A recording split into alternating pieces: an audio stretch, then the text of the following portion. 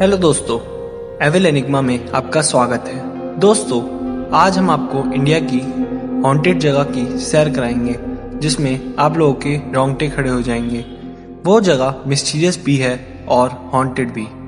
चलिए दोस्तों, शुरू करते हैं आज की story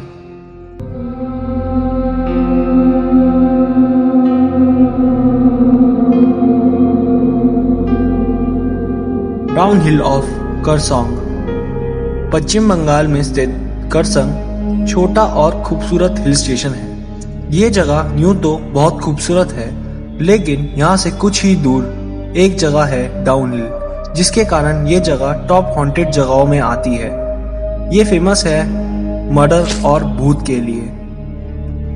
यहाँ के लोगों की माने तो यहाँ विक्टोरिया हाई स्कूल है, जिसमें एक दो नहीं, बल्कि बहुत सारे भूत हैं। इसी के कारण यहाँ पर आसपास के लोगों को मरमरिंग की आवाज़ सुनाई देती है।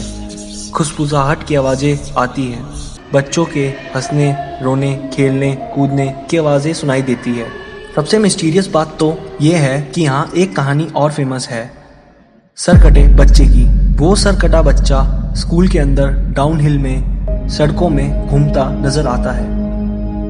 यहाँ के आसपास के लोगों का मानना है कि अगर किसी को वो सरकटा बच्चा दिख जाता है तो वह इंसान धीरे धीरे डिप्रेशन का शिकार हो जाता है, क्योंकि वह बच्चा उसे हर जगह दिखता है। और दो या तीन दिन में उस इंसान की मौत हो जाती है, जिसने उस सरकटे बच्चे को देखा होता है। ये जगह सुनसान है। जब डाउन हिल में मौसम बहुत अच्छा होता है, तब यहाँ टूरिस्ट लोग आते हैं। टूरिस्ट लोग डाउन हिल जाना पसंद करते हैं क्योंकि वो आज भी बहुत सुंदर जगह है। लेकिन जब वह वहाँ जाते हैं तो उन्हें ऐसा लगता है कि कोई उनका पीछा कर रहा है। उन्हें बहुत सारे पैरों की आवाज़ सुनाई देती है। शुरुआती तौर पर तो ये जगह बहुत सारे कपल से भरी रहती थी, क्योंकि ये बहुत रोमांटिक प्लेस है। लेकिन धीरे धीरे यहाँ पे आना बंद हो गया, क्योंकि यहाँ पे जो जो सर कटे बंदे को देखता था, वो मर जाता था। दोस्तों, इस मिस्टीरियस प्लेस से पर्दा तो उठा नहीं है अभी तक, लेकिन यहाँ के कई लोगों की कहानियाँ बड़ी प्रचलित है। वो जानते हैं कि ये सरकटा बच्चा कौन है और ये इतनी सारी आत्माएँ कहाँ से आई है। यहाँ के स्थानीय लोगों का मानना है कि ये एक सुंदर जगह तो है ही, साथ में यह एक सुंदर हिल स्टेशन है। जिसके कारण यहाँ पर टूरिस्ट की अट्रैक्शन हमेशा बनी रहती थी। 1990 के बाद ये अट्रैक्शन थोड़ी कम हो गई, क्योंकि 1990 के बाद से यहाँ एक कहानी फ़ेमस हो गई, सरकटे बच्चे की। आज की डेट में डाउन हिल थोड़ा जंगल सा बन रखा है, जिसके बीच में रास्ते बना रखे हैं। लेकिन 1990 से पहले ये बहुत सुंदर एक गार्डन हुआ करता था।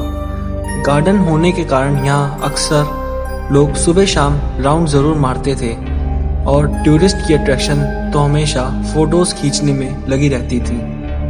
लेकिन उसके साथ साथ यहाँ पर चोरों का अड्डा भी बना हुआ था, जिसमें अक्सर चोर रात को आकर यहाँ दारू पीते थे और जो भी पूरे दिन उन्होंने किया, वो बातें डिस्कस करते थे।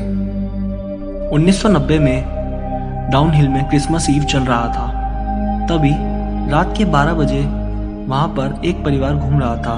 उस परिवार ने चोरों की बात सुन ली और पुलिस में कंप्लेंट करने की सोची।